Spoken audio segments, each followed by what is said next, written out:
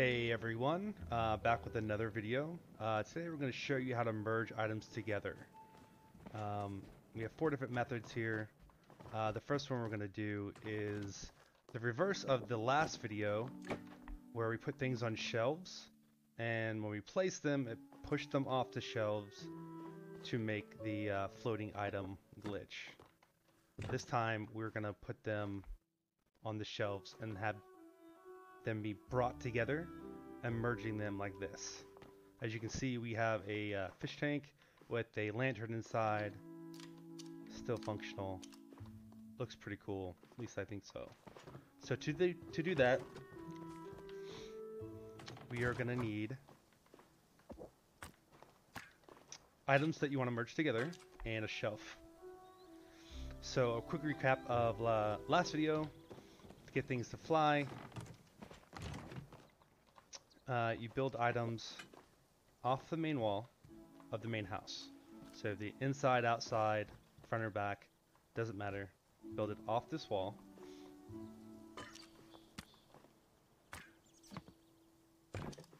Causes it, it causes it to uh, push everything off the shelf. Pick it up, put it back. Now, this method, to draw everything together, you're basically do the exact opposite. You're going to build on one of the main walls, put your items on there, arrange them, rotate them the way you want them to look, right? And then when you take it off the main wall and put it on any other wall, it brings them together. Can get these cool little uh,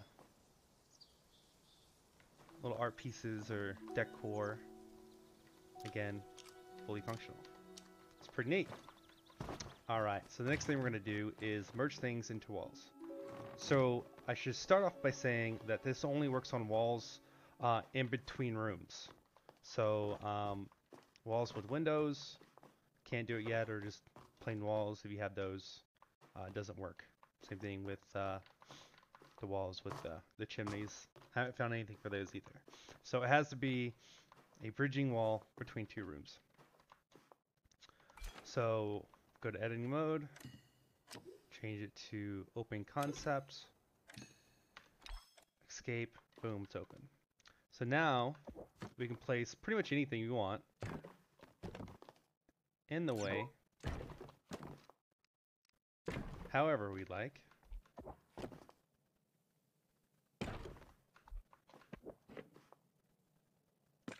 There we are.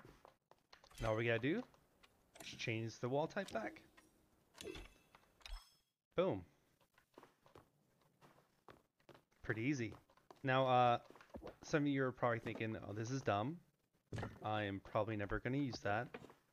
And as you can tell real quick, it's easy to get everything unstuck, so no worries there. But let me show you an example of a practical use that I found for this glitch. Alright, so as you can see right here, I got these really nice lamps these are the bellflower lamps. I love them. And using that method, we glitched them into the wall just enough to give this beautiful little marble stone pole thing. I don't know. Looks really good in my opinion. But that is a practical example of what you can do. Okay, so the next one is um, hanging things in between doors or off the side of your house. Um, all you're going to need for this are the uh, industrial wall decors. I got quite a few, so just rearranging those. All right. So uh, normally I can place these anywhere around the circumference of the, the door frame here, but with the poles they're blocking it, so I got to be very specific where these go. There we go. But you can just keep adding them on and just keep going. And as you can tell, it's hanging out middle of the air.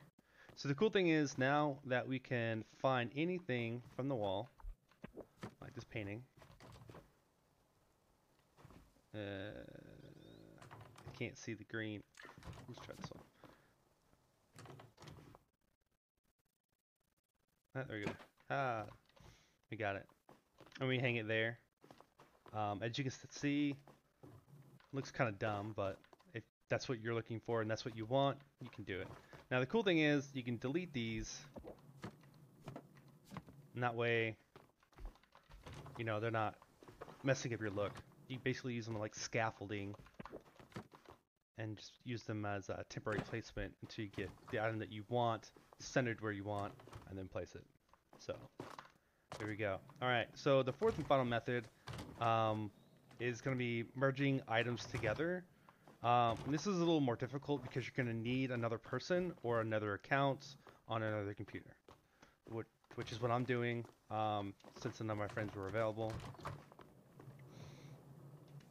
Uh, what I've already used this for is the Yember statue with the flame brazier mixed with uh, the floating glitch. You know, get some cool ideas going. Um, this, I, I just thought this was cool, so I, I did that, and then merging the tubs together, kind of bougie, right? Okay, so uh, let's find two things that we're gonna merge together.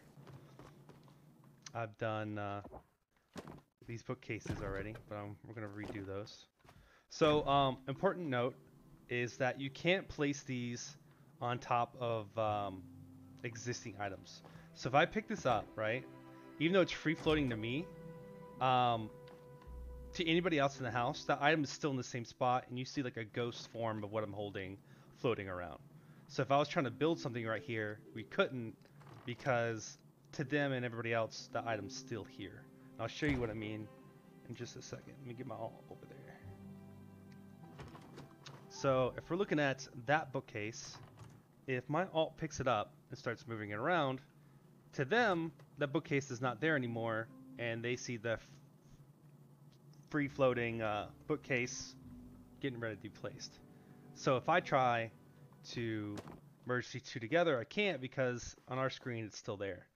So make sure everything's out of the way of where you want this to be actually placed, and um, and then attempt this. So what we're gonna do, we moved everything out of the way. Boom, it's officially clear in that corner now. So I'm gonna pick up my item, get it where I want it, and get my alt to pick up their item, get it where we want it. And then at the exact same time, sorry, let me readjust this. At the exact same time, you both place. Oh, my alt was a little faster, even though I did that with my left hand. And as you can tell, I gotta move this again because it's in place, and then bring it back up. And place it at the exact same time. Alright. So now, turn that off. You can see how it perfectly merged together, no issues. You can still place things on them. Everything's still functional, everything's pretty neat. So you can get really creative um, with this. I'm pretty excited after I post this video to see what people do. So um, yeah, get on that, guys. Uh, quick shout out to uh, Tiny Dragon, who uh, and the rest of the uh, official uh, Palia Discord uh, in the housing channel for not only giving me inspiration for some of these ideas, but also helping me test some of them. So thank you guys. Um, but yeah, if you would like, just come in there and join us. Uh, everybody's pretty chill. Um, feel free to ask questions. Uh, I'm in there a lot, so if you have questions for me, feel free, or just leave a comment, either one. Um, I'll also uh, leave a, the link to the previous video of a more in-depth explanation of how to get things to float. So yeah, thanks for watching, guys.